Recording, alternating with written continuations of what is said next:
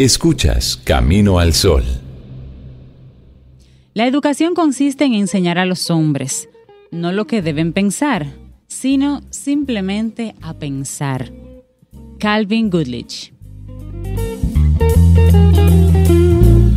Y seguimos camino al sol. Gracias por continuar con nosotros en este lunes 30 de junio y estamos muy contentos porque eh, recibimos en, en, nuestra casa a una muy buena amiga, Felivia Mejía, eh, periodista, una apasionada del periodismo y vamos a conversar un poquitito con ella sobre, sobre su vida, sobre su carrera y su trabajo más reciente. Felivia, buenos días y bienvenida a Camino al Sol. Muy buenos días, un saludo muy especial a todos los radioyentes y besitos a toda la cabina. Gracias, Olivia, un placer tenerte por aquí. Bienvenida no, yo estoy emocionadísima, muy contenta con la invitación eh, y entonces eh, estoy tan estoy un poco ronca, no sé, la afección de la, de la, del virus que anda, parece. Eh, cuando me, me, invitaron, yo estaba tan emocionada y yo quería puntualizar tanto que me dice la chica, ¿estás nerviosa? Digo yo, ay no, es la emoción.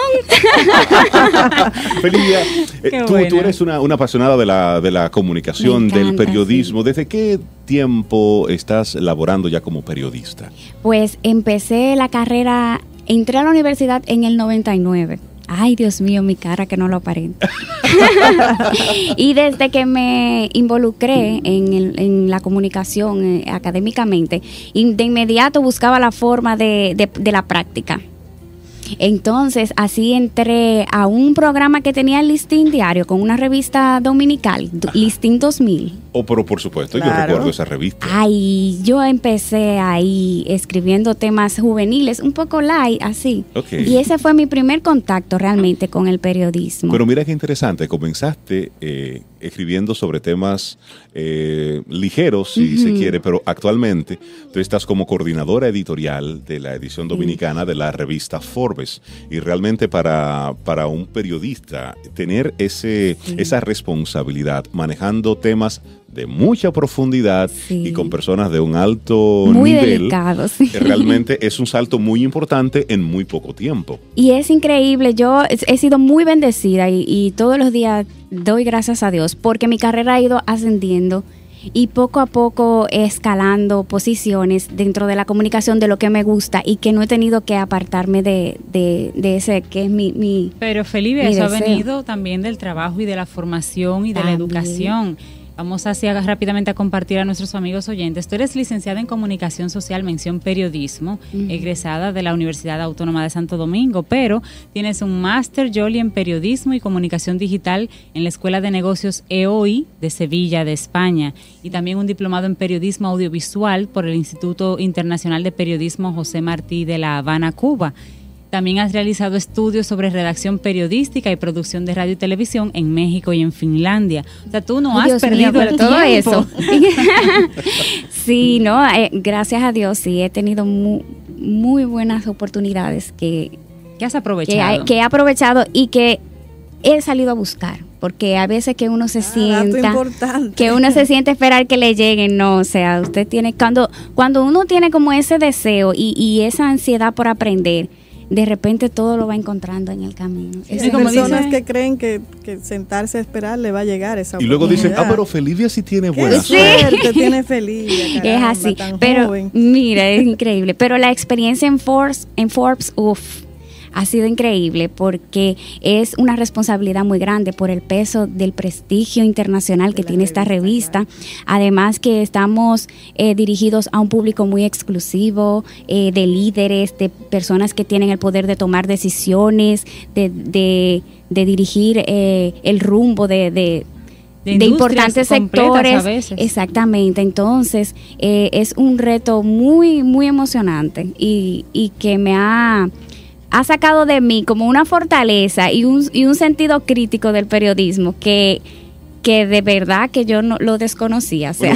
realmente eh, hacer un, un, paseo rápido por la revista, estamos hablando de cerca de 150 páginas de, de artículos de profundidad. Si son de economía, bueno, pues eh, son redactados por especialistas en el área y de, un, de una actualidad, por un lado, pero de un peso también sumamente importante. ¿Cómo tú logras eh, manejar a, esa coordinación de seis periodistas, pero luego esa coordinación de esos personajes, que son personas con agendas muy complicadas? ¿Cómo logras eh, ir sorteando todo eso? Cuando empezamos el proyecto, porque esa es la suerte que he empezado eh, el proyecto, o sea, desde el principio, que teníamos, que nos reunimos con los inversionistas para traer la firma aquí. Wow, pensábamos nosotros, Javier Pires, que es el editor en jefe, a quien envió un saludo muy especial. y decíamos, wow, pero eso va a ser un poco difícil en este país, ¿cómo va a ser? Pero increíblemente, Forbes es una firma que abre puertas. Así es. Y tú dices, eh, coordinas una entrevista y dices que este Forbes y aparece un espacio en la agenda. sí, me imagino que eh, es un prestigio que se le da a la persona que aparece en la revista. Y entonces hemos tenido una acogida increíble o sea, ha sido muy... Y la gente ya conocía la revista, eh, el público que estamos dirigidos, ¿no? Entonces está... Y decía, ay, qué bueno, yo estaba suscrita a la de Estados Unidos y ahora vaya a tener la de República Dominicana. Sí, que eso es una, eso es una ganancia para nosotros como mercado, el tener una edición de, República Dominicana de esta revista de Forbes, pero también los colaboradores que tienes dentro de la revista. Y quiero ah, eh, puntualizar que es una revista también con, con mucho criterio o sea, se preocupa por poner las dos versiones, los diferentes puntos de vista. Eh, no, no se va siempre. A veces tenemos un tema y si solo tenemos la opinión de una parte, se pospone el reportaje para otra edición hasta que la otra parte pueda ofrecer su, su opinión.